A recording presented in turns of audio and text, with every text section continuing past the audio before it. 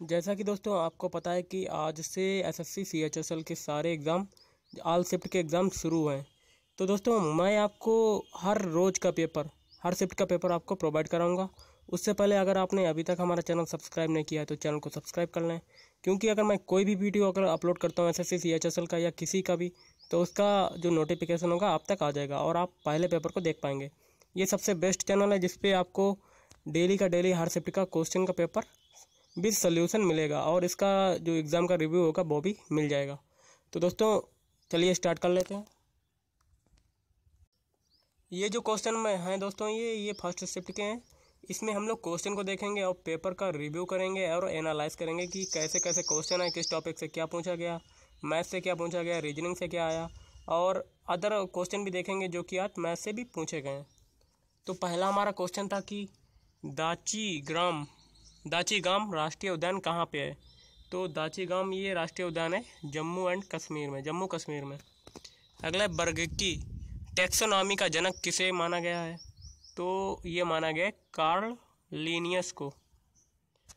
जो कंप्यूटर में जो प्रोसेसर यूज़ होता है आई थ्री तो आई थ्री प्रोसेसर से रिलेटेड एक क्वेश्चन आया था।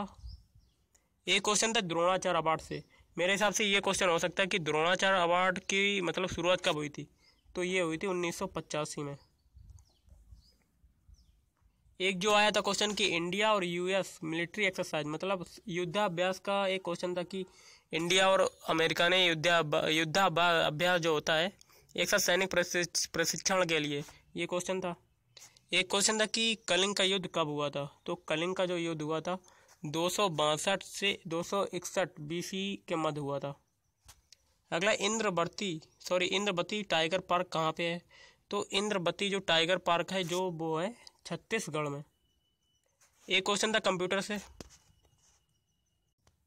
कंप्यूटर से एक क्वेश्चन आया था कि एस एम टी पी का फुल फॉर्म क्या होता है? तो एस एम टी पी का जो फुल फॉर्म होता है, वो होता है सिंपल मेल ट्रांसफ़र प्रोटोकॉल एक आया था कि एक राजधानी से संबंधित था कि रांची किस राज्य की राजधानी है? तो ऑब्वियसली आपको पता होगा कि रांची की किसकी राजधानी है? झारखंड की। अकबर के दरबार में पहला अंग्रेज़ शासक कौन सा आया था? तो मेरे हिसाब से शायद रेफेल फिच आया था। एक क्वेश्चन बुक से रिलेटेड था, जो कि सचिन से रिलेटेड है कि प्लेइंग इट्स माई बे ये पुस्तक रिसेंटली में अभी सचिन ने लिखी थी कुछ साल पहले। जिसका नाम है, जिसका नाम था कि प्लेइंग इट्स माई बैग इस पुस्तक के लेखक कौन है? सचिन तेंदुलकर। एक क्वेश्चन था कि विटामिन ए की कमी से कौन सा रोग होता है? तो शायद ये ऑप्शन में था वर्णांधता। मैं से क्वेश्चन आया था कि tan two x plus cot two x plus two का मान क्या होगा? एक आया था कि cos four pi I upon three is equal to क्या होगा? तो दोस्तों, मैं इसके अगले वीडियो में मैथ के सारे के सारे क्वेश्चन आपको प्रोवाइड कराने की कोशिश करूँगा। तो दोस्तों, अभी तक हमारा चैनल अगर आपने सब्सक्राइब नहीं किया तो चैनल को सब्सक्राइब करें और बेल आइकन को ज़रूर दबाएँ, जिससे कि आपको वीडियो समय पर उपलब्ध हो जाए। और दोस्तों, जिनका कल पेपर है, वो प्लीज़ इस वीडियो को पूरा देखें, क्योंकि इससे आने वाले एग्ज़ाम में जो सी एच एस एल के आगे के शिफ्ट होंगे, उससे ये क्वेश्चन आ सकते हैं रिपीट हो सकते हैं। एक क्वेश्चन था कि इंग्लिश से कि पीस ऑफ़ केक ईडियम मतलब जो ईडियम आया था पीस ऑफ़ केक ये क्वेश्चन था। तो दोस्तों, अभी तक मुझे इतना ही क्वेश्चन मिले। अब हम लोग एग्ज़ाम का एनालाइज करते हैं कि किस टॉपिक से क्या क्या आया था पेपर का पैटर्न कैसा रहा। अब हम लोग एग्ज़ाम का एनालाइज कर लेते हैं। तो इंग्लिश लैंग्वेज का जो इंग्लिश का जो पेपर था मॉडरेट था, जो सत्रह से मतलब सत्रह से इक्कीस क्वेश्चन थे, वो मॉडरेट थे। क्वांटिटेटिव एप्टीट्यूड में इजी मॉडरेट मतलब सोलह से बीस क्वेश्चन के बीच। जनरल इंटेलिजेंस का पेपर इजी था जिसमें से आप 21 से 23 क्वेश्चन अटैम्प्ट कर सकते थे, जो कि गुड अटैम्प्ट में चले जाते हैं। जनरल अवेयरनेस का पोर्शन इजी था 18 से 21 क्वेश्चन आप कर सकते थे। ओवरऑल जो पैटर्न पूरा पेपर था वो इजी मॉडरेट था। अगर आपने अड़सठ से छिहत्तर के बीच क्वेश्चन किए तो वो गुड अटैम्प्ट में चले गए।